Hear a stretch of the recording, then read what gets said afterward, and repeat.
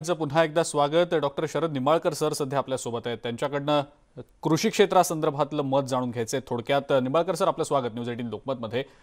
शेती क्षेत्रासाठी कृषी क्षेत्रासाठी हे अर्थ हा बजेट हे अर्थसंकल्प समाधानकारक होतं का? थोडक्यात आपल्याकडनं उत्तर अपेक्षित आहे. समाधानकारक असं पूर्णता नाही म्हणता येणार. पण बऱ्याच काही ज्या शेतकऱ्यांना थोडीशी राहत देण्याचा जो विचार केला आहे तो मात्र स्तुत्य आहे.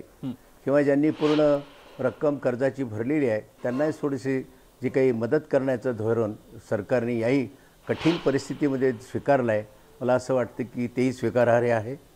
एक गोष्ट सिंचनासाठी केलेली सोय आणि पूर्ण करायचे जे प्रकल्प आहेत.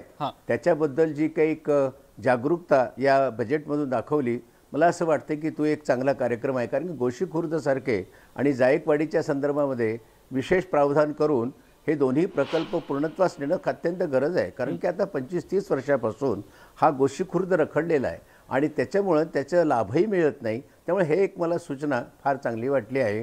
पण विशेष बाब म्हणजे अशी की यामध्ये एक थोडंसं धोरण मला असं एक सुचवा असं वाटतं.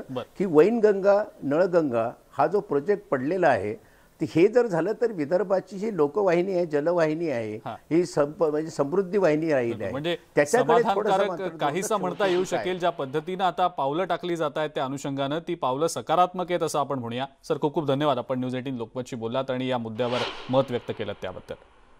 बुलेटिन